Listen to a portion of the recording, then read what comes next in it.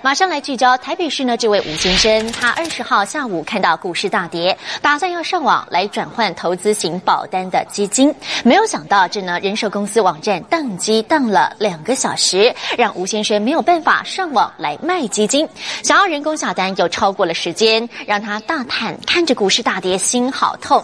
不过人寿公司目前说，因为流量过大，宕机了三十七分钟，不像吴先生所说长达两个小时，也查出了吴先生是离职。员工，但人寿公司强调，如果有损失，他们会进一步来了解补偿。打开网页，吴先生看到全球股市大跌，准备卖掉基金，没想到却碰到这状况。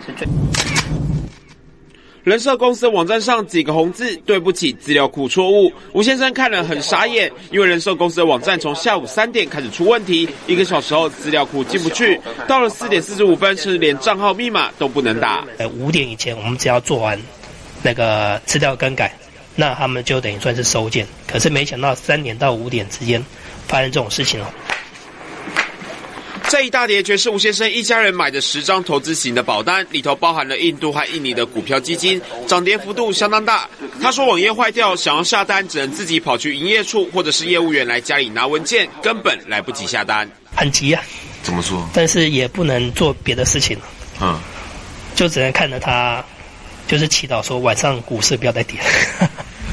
向人寿公司求证，却有截然不同的说法。系统的确因为使用者太多，但只宕机了三十七分钟。吴先生除了客户身份外，更是离职的业代。照理来说，不会不知道，如果系统宕机，可以电话委托客服下单。